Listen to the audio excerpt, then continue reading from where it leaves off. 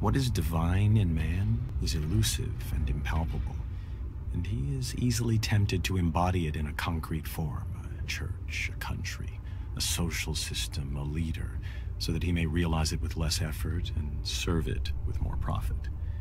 Yet, the attempt to externalize the kingdom of heaven in a temporal shape must end in disaster. It cannot be created by charters or constitutions, nor established by arms. Those who seek for it alone will reach it together, and those who seek it in company will perish by themselves. Hugh Kingsmill, 1944.